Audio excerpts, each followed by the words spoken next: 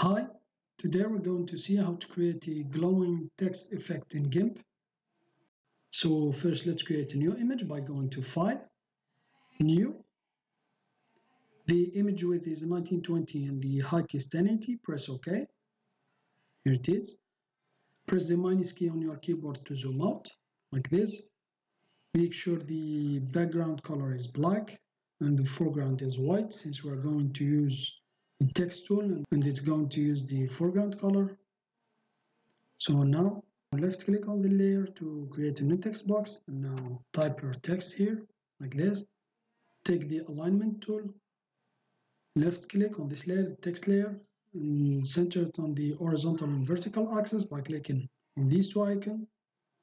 Make sure the align is relative to the image here. So now right click on the text layer now go layer to image size, duplicate this layer, here it is, and now double click on the name here and let's name it wind, press enter to confirm. If you want to remove these squares, just select another tool like this, and now go to the filters tab, distort, wind, here,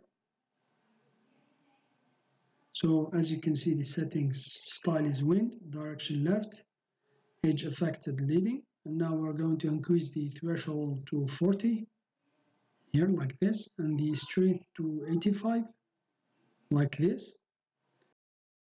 It's okay, press, press OK here to confirm. We are going to use all the filters, all the wind, the wind filters on the wind layer here. So let's go back to the filters tab ratio wind here.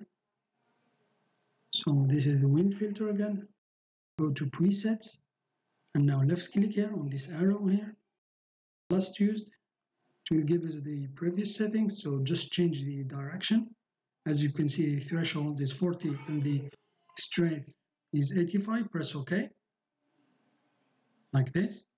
And now let's go back to the filters tab again, ratio wind presets last used and then the direction is going to be top. Press ok. And now for the last time filters ratio wind and now presets last used direction bottom like this. Press ok to confirm. Here it is. And now we're going to place the wind layer under the text, the GIMP layer, the text layer, the first one. So just click on this small little arrow here, this one here. So as you can see, so here's the wind layer. So here it is. So now we're going to duplicate this layer. We'll give it a glow. So as you can see here, you can even change the mode to screen. It will increase the shine here. So let's duplicate it again second time as you can see it's too much. We're going to decrease the opacity here. I think that's okay here. So now let's hide the dark background layer the black one here. Hide it. Go to the top layer here. Right click here. And now new from visible. Like this. Here it is so now you can delete all these layers, previous ones here, like this, here. So now for the new one here, we're going to duplicate it again to increase the shine here, like this. Here it is. Can decrease. I think I, I will keep it like this. So now we're going to merge it down like this with the first one.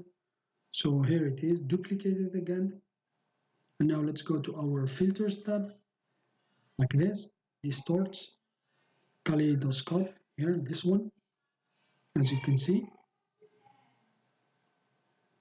Here it is. So now decrease the zoom here to 85. So here it is. Just going to click on the down arrow here. This one here. So I think that's okay here. So press OK, like this.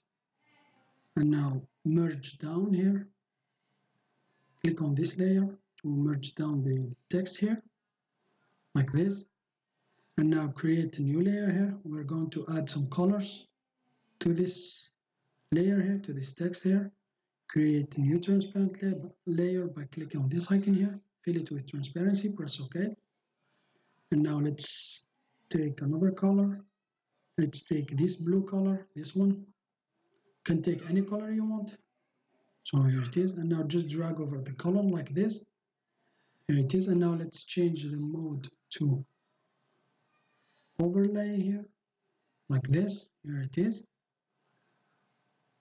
And now if you want to keep the this color text here so hide the background layer here.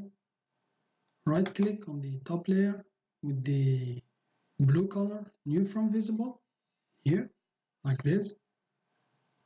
And now we're going to place this layer the one with the blue color on top of the new visible layer we created here. So here it is. So now this will increase.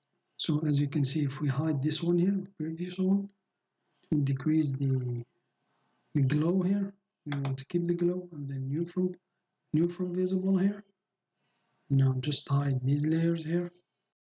So that's it. That's how we can create a glowing text effect in gimp. Well thanks for watching. Have a nice day and uh, till next time. Bye bye